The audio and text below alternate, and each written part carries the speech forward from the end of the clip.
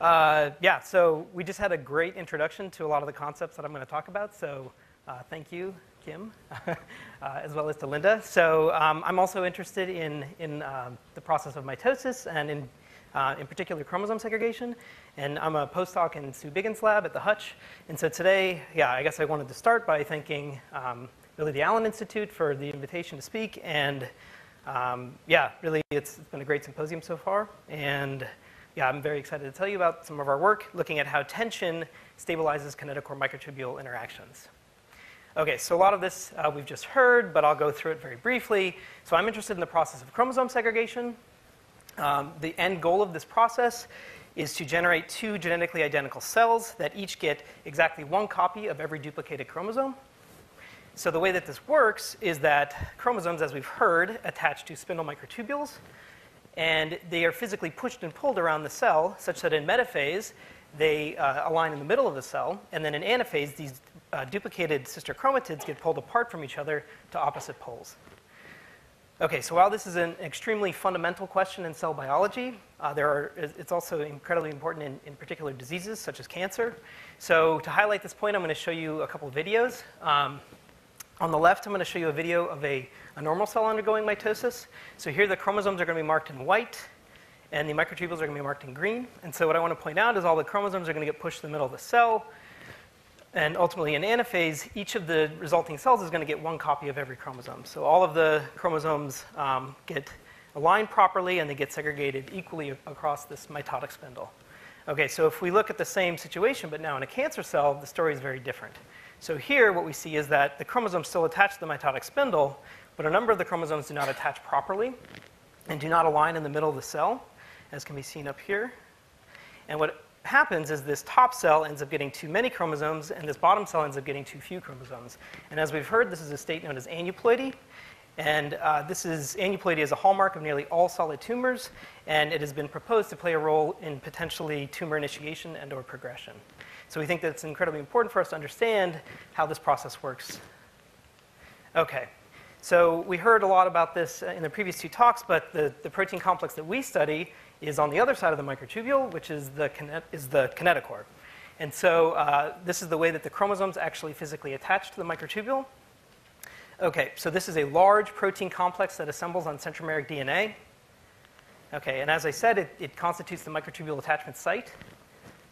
And it's a, a, very large and complicated protein complex. Uh, there are greater than 90 unique components, Many of these uh, components are actually conserved in, in, from yeast all the way up to humans.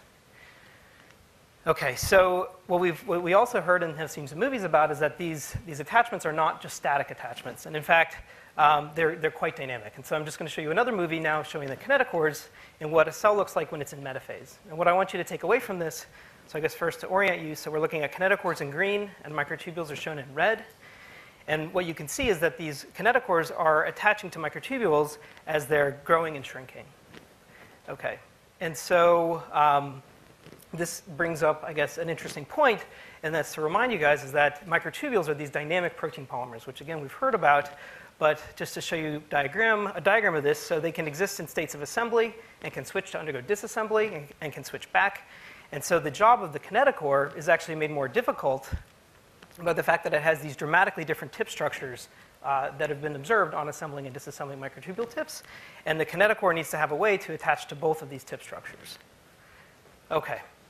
So uh, the other thing the kinetochore needs to do to mediate proper chromosome segregation is make what's known as a bi-oriented attachment. So here I'm diagramming a bi-oriented attachment. So now the sister kinetochores are shown in red, microtubules are shown in green. And so the, the important point here is that these sister kinetochores attach to microtubules that emanate from opposite poles. And so this is going to lead to proper chromosome segregation in anaphase. Okay, so while this is an, a correct attachment, a number of incorrect attachment configurations can also occur, such as these ones I'm showing you below. And all of these attachment configurations are going to lead to chromosome missegregation. And so the cell needs to have a way to detect these attachment errors and ultimately correct them before uh, undergoing anaphase. Okay, and so many years of work and many labs have uh, come up with the, the following idea about how this is sensed in the cell. And so what's, what the current idea is that a correctly bi-oriented attachment such as this one generates tension across a pair of sister kinetochores. And it's this tension that leads to stabilized microtubule attachments. So conversely, an attachment that is incorrect and lacks tension, such as this one, is selectively destabilized by the cell. So this is a key and open question still in the field. It's, it's, I think, pretty clear that tension is leading to stabilized attachments, but how does this work, I think, is still a very open question, and that's the question that we wanted to address. How does tension stabilize attachments? Okay, so our approach has been to reconstitute kinetochore microtubule attachments in vitro. To this end, the Biggins lab had previously developed protocols to purify intact kinetochore particles from budding yeast. So here I'm showing you a negative stain EM image of one of these purified kinetochores bound to the tip of a Taxol stabilized microtubule. We can then also, working in Chip Asbury's lab, use an optical trap-based assay to monitor uh, kinetochore microtubule attachments under tension. So briefly, the way that this works, it's slightly different than what Kim talked about. Now the kinetochore is attached to, to a bead, which can be manipulated using an optical trap. We then have microtubules, dynamic microtubules that are grown from, this, from a cover slip, and we can attach these kinetochores to the tip of the dynamic microtubule and then place uh, different amounts of force across this kinetochore microtubule interface. Okay, and so when we do an experiment like this, a typical, a typical experiment looks something like this. Where here I'm plotting the position of the microtubule tip over time, and this microtubule tip has a kinetochore bound, and that kinetochore microtubule interface is placed under a constant amount of force, in this case 1.7 piconewtons. Okay, so we can measure rates of microtubule assembly as well as disassembly, the frequency of uh, switches between these two states, catastrophes and rescues, as well as the frequency with which the kinetochore detaches from the microtubule tip.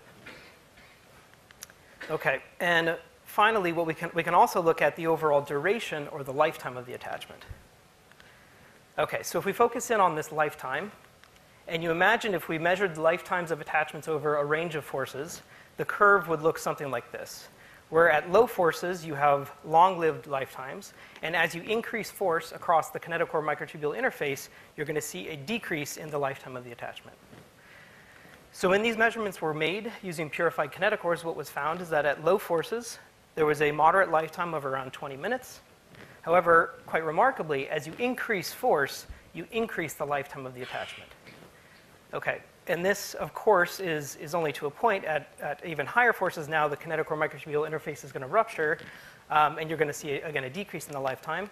But this showed us that tension itself can directly stabilize uh, the lifetime of a kinetochore microtubule attachment. So in this way, we think that this is an inherent uh, physical property of kinetochore microtubule interactions. And in this way, we think that the kinetochore is working much, much like a finger trap in that the harder you pull, the harder the kinetochore is actually going to hold on. And for the aficionados in the audience, this appears to be independent of the other tension sensing pathway in the cells, which is mediated by Aurora B.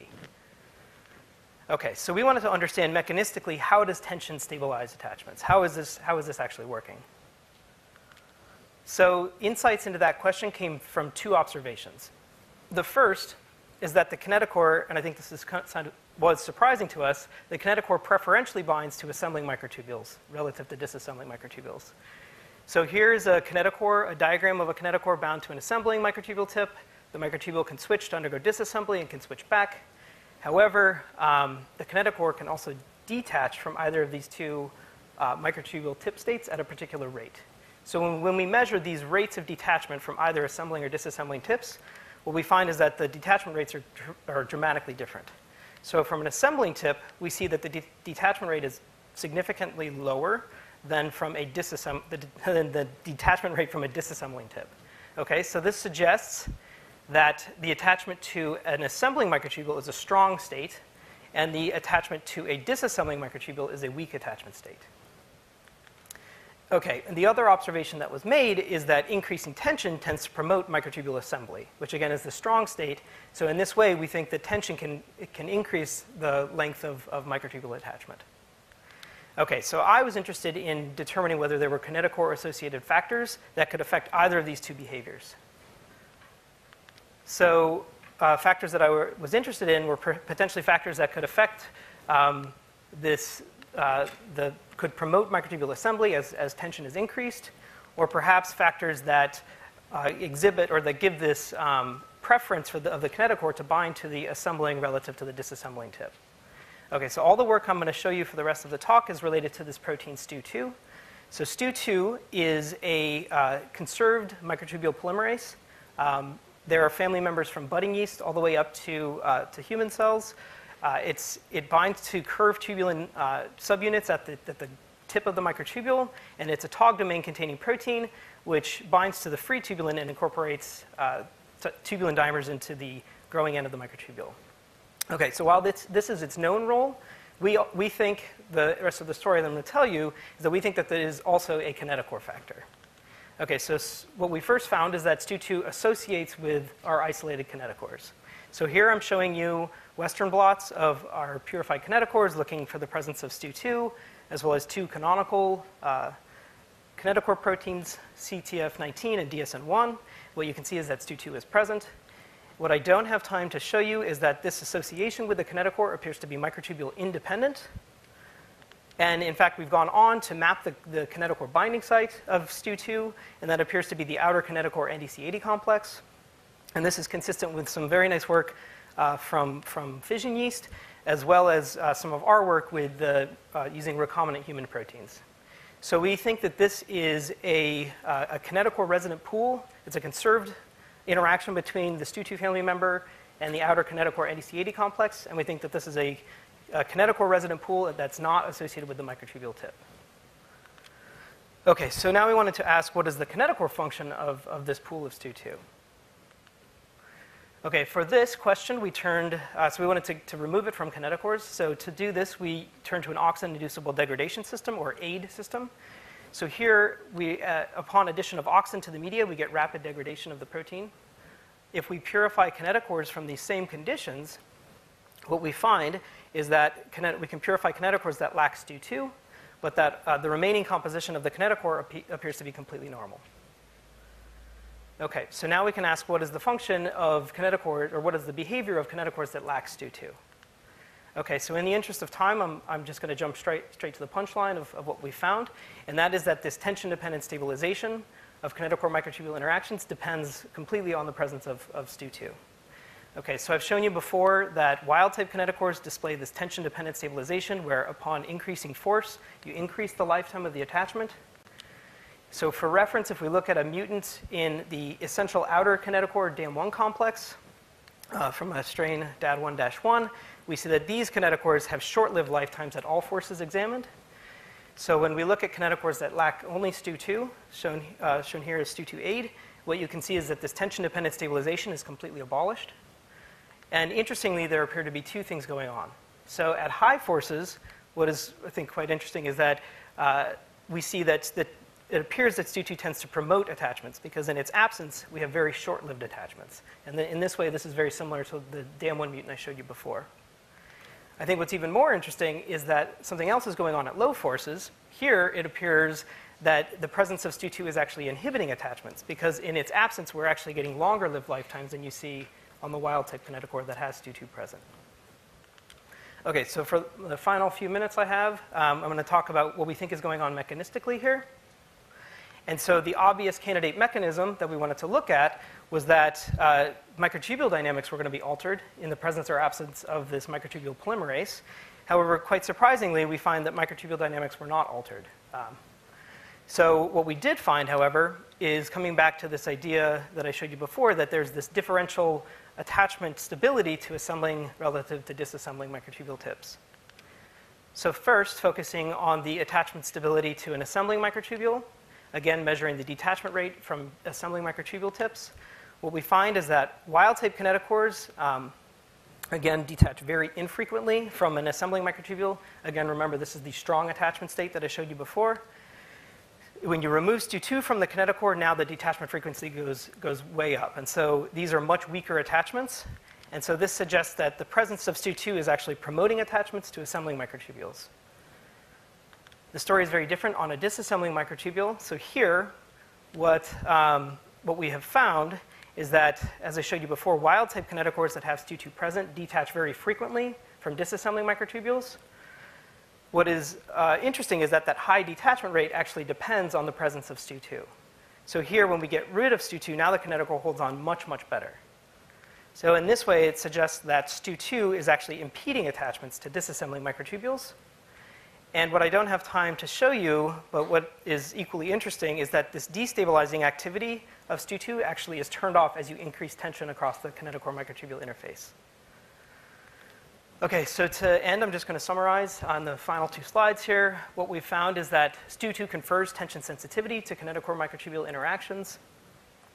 At low force, it appears that STU2 inhibits attachments, predominantly by inhibiting attachments to uh, disassembling microtubule tips. And at high force, STU2 has the opposite effect, and that opposite effect, and it actually uh, promotes attachments. And so it's these dichotomous uh, effects of STU2 that result in this tension-dependent stabilization of kinetochore microtubule interactions. And I think quite interestingly, these effects do not appear to be related to altered microtubule dynamics. Okay, so to just end with a, a model of how we think this fits in with, with sort of uh, the chromosome. So we start here with an incorrect attachment uh, that has low tension across the kinetochore microtubule interface. The role of, of kinetochore associated STU2 is to, is to selectively destabilize these attachments. Uh, so, so STU2 will release these attachments that lack tension, and this gives the cell another chance to make an, a, a correct attachment. So when another attachment is made, you can either make another incorrect attachment and the cycle continues, or you can make a correct attachment. If you make a correct attachment, a bi-oriented attachment, this generates higher amounts of tension across the kinetochore microtubule interface. And what's really interesting is that this destabilizing activity of STU2 is turned off. And now a second function of STU2 comes on, gets turned on, and it actually tends to promote these uh, tension-bearing attachments. Okay, so with that, I'll just stop and say thanks uh, to Sue and the whole Biggins lab, um, as well as Chip Asbury, where a lot of this uh, work was done, and uh, various collaborators um, for, and their respective colleagues for help along the way and funding. And with that, I'll I'll thank you guys for your attention and take questions.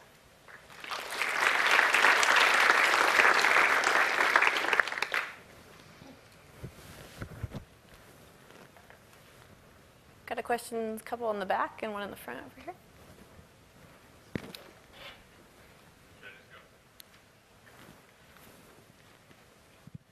I was just wondering, that was really nice, but I was just wondering, um, is there anything uh, in the structure of STU2 that suggests it's mechanosensitive, has mul- adopts multiple conformations, anything like that? Yeah, that's, that's a great question. Um, so uh, the short answer is no, but um, it is known to have, uh, so it's, so the, it's a really good question. So we're, we're trying to now work to figure out if it's something about the, the, the structure of STU2 that changes with tension, or whether it's perhaps changing the, the structure of the microtubule tip. Because you can imagine as you increase tension, you could actually change the structure of the tip such that, for instance, these protofilaments are going to be peeling back more or less. And STU2 is known to be sensitive to the, the curvature of the, of the tubulin uh, dimers that it's binding to. So, so one idea is that it's actually not, that tension is not changing STU2 itself, but is actually changing the microtubule tip structure. However, there, there, uh, it is an idea that we're pursuing to see if there's something that changes with STU2 itself. So it's a great question. It, it seems like an obvious way to prevent um, detachment would be just to polymerize more to lengthen the microtubule. And you said this was a, a microtubule kind of extending enzyme. Yep. I think you also said that when it was present, you did get more extension, right? You do get lengthening when it's present. So, um, so how do you exclude that it's kind of a trivial thing then, that it's just uh, allowing the microtubule to get longer as, as you're pulling on it? Yeah, so sorry. Uh, so yes, that's a, it's a good point. And actually that's, we started working on this protein because we thought it was going to affect microtubule dynamics. Um, so, and I, I, actually, we don't see any effect on, on microtubule dynamics, either the amount of, so the lengthening of microtubules or shortening or, or, any parameter we've looked at in the presence or absence of, of STU2. And so we, we don't actually think that it's a trivial answer that it's just affecting the dynamics and, for instance, uh, making more microtubules that are, that are assembling and, and thus can hold on better. Um, that was actually the, the idea going into it, but it turns out it was something completely different.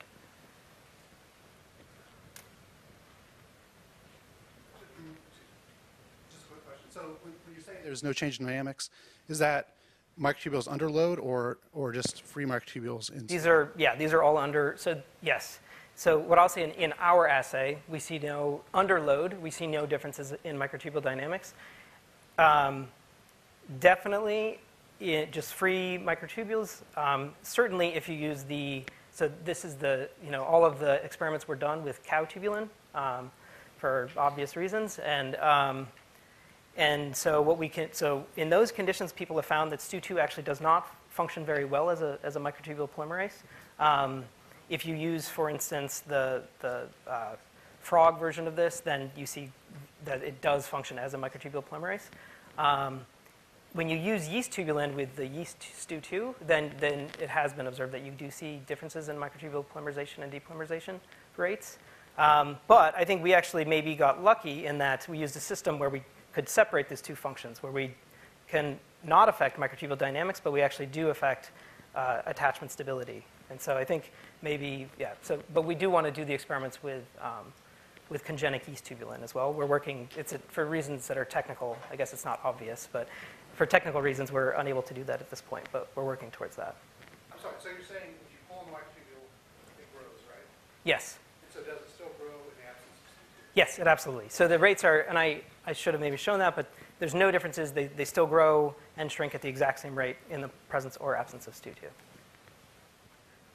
Any other questions? Great, thank you.